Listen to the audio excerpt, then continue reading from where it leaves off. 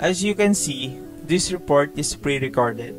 Hindi ko ma-entertain ang questions nyo while it is presenting. Naka-video type siya kasi I have a full-time job at makikisuyo lang ako sa isa sa mga ating classmates para i-present ang report ko. Ang gagamitin kong lingwahe ay English, Tagalog at Ilonggo. So please bear with me guys. Hi, good morning. My name is Roy Glenarshaga and I'm here to discuss the types of wave theory. Every sound we hear, every photon of light that hits our eyes, the movement of grass blown by the wind, and the regular beat of the tides are all example of waves. Lahat ng waves ay nasa paligid na natin, di ba? Nung bata pa tayo, tumatapon tayo ng bato sa tubig tapos makikita natin yung konting alon Di ba? Manol patasad to. Ibig sabihin sa waves. At the simplest level, waves are disturbance that propagate energy through medium. Propagation of the energy depend on the interactions between the particles that make up the medium. Particles move as the waves pass through, but there is no net motion of particles. This means once a wave has passed, the particles return to their original position. As a result, energy, not matter, is propagated by waves.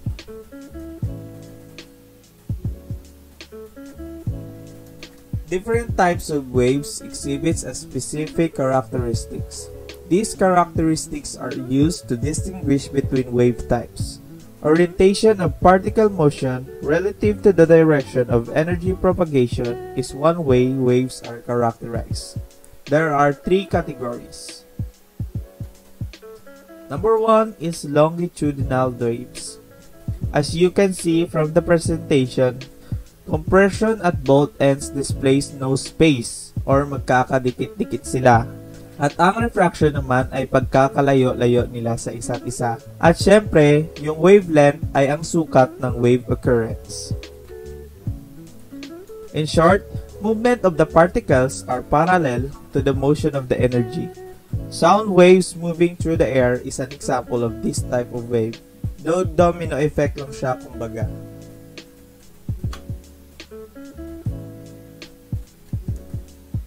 Moving on to the transverse wave. Movement of the particles are at right angles perpendicular to the motion of the energy.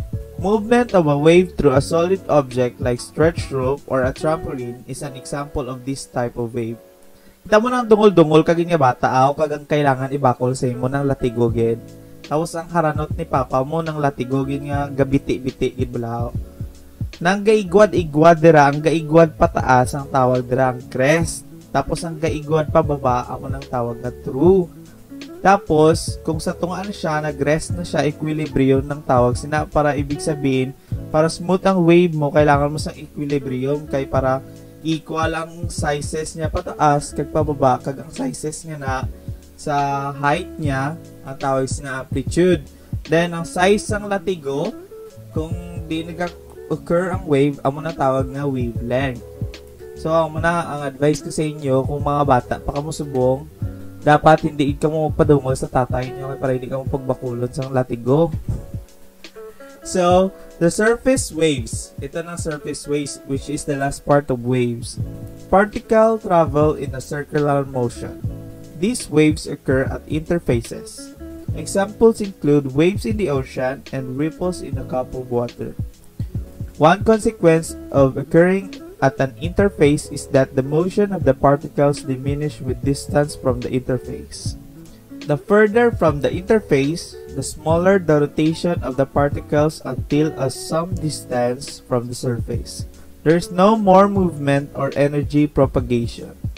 Kumuni siya ang combination sa longitudinal kag transverse wave. So, moving on, in the factors that affects the waves, So, may mga factors tayo. Nakikita naman natin, di ba? Hindi naman mangyayari ang isang bagay kung walang factor at makaka-apekto. Meaning, the waves are dependent. The speed of a wave is dependent on the four factors. Wavelength, frequency, medium, and temperature. So, further notice, speed is constant in a given medium. Ibig sabihin, constant siya sa medium nga ginatawag. Ang medium is the material that we use to create waves. Since speed is constant within the same medium, a high frequency has a short wavelength and a vice versa. As waves travel through a medium, two properties affect wave speed. Density. The higher the density, the slower the wave. Elasticity. Waves travel faster through materials that are more elastic. Temperature. The speed of waves increase as temperature increases. This is due to the increase of kinetic energy of the air molecules and the decrease in density. So, ganito ang mga factors ng waves kung bakit umiiba ang waves natin. Kikita rin naman natin, di ba, nung bata pa tayo, kapag nag-interact ng dalawang waves, 'di ba, maapektuhan ng bawat isa. So ganun lang 'yon. Parang 'yun yung factor sa pagkaiba ng waves. Pero dito, more scientific explanation lang siya, more scientific terminologies which involves density, elasticity, and temperature. So, that is all guys. Thank you for listening to me. And this is Roy Glenn Ashaga reporting for Types of Wave Theory.